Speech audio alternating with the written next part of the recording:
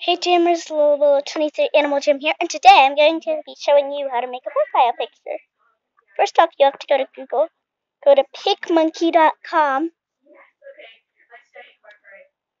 design, and do 600 out of 900. If it does that glitch, um, just refresh it or do it again. 600 out of 900 pixels is what you want it to be at.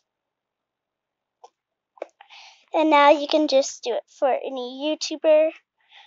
For example, I'm going to do one for Cookies for C. Let's do a dark blue. Yes, press apply. And you have to create an account to do this. It's only for pictures. But if you create an account, watch the step. Okay.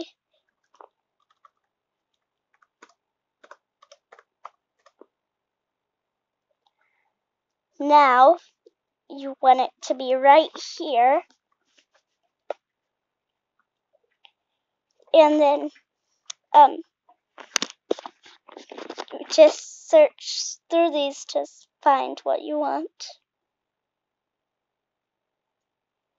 If you want sparkle stars, this is what I'm going to do for the example.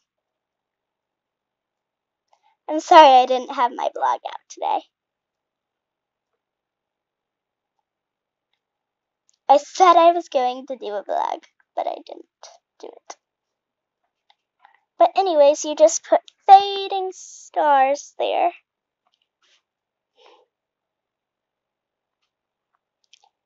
Like fading stars like that. But then if it does that to you, just do that. Wait, games and glory. Okay, we're gonna change this up a little bit. There we are, sparkle stars again. Anyways, you just continue this process until it's enough. And then you go to this and do space like this. And then do Winterland, which is snowfall, and apply and then press save. Press save my masterpiece. Just save this, go like profile picture.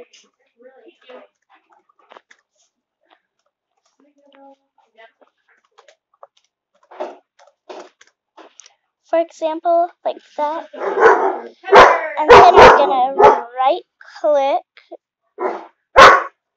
which is save image as profile